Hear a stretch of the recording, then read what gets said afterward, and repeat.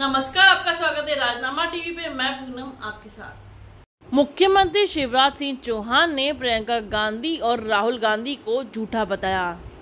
भोपाल में उन्होंने कहा कि दोनों भाई बहन लगातार झूठ बोलते हैं।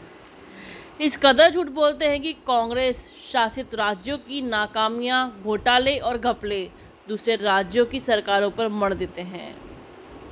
बलात्कार राजस्थान में होते हैं और प्रियंका गांधी उन्हें मध्य प्रदेश पर मर देती है। आपको शर्म नहीं आती। कांग्रेस की राष्ट्रीय महासचिव प्रियंका गांधी ने सोमवार को धार की सभा में कहा था कि उज्जैन में बच्ची से रेप हुआ। मध्य प्रदेश में हर रोज सत्रह रेप होते हैं। इधर अशोकनगर के भाजपा प्रत्याशी जजपाल सिंह जज्जी की मंगलवार की सुबह के समय अचानक से तबीयत बिगड़ गई। उनके सीने में तेज दर्द होने के बाद जिला अस्पताल में भर्ती कराया है। फ़िलहाल आईसीयू वार्ड में उपचार किया जा रहा है। वह सुबह के समय राजपुर में सिंधिया की जनसभा में जा रहे थे। इसी दौरान अचानक से तेज दर्द होने लगा। इसके बाद परिजन जिला अस्पताल लेकर गए।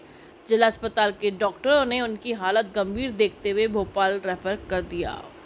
इसी के साथ बने रहे राजनामा टीवी के साथ। धन्यवाद।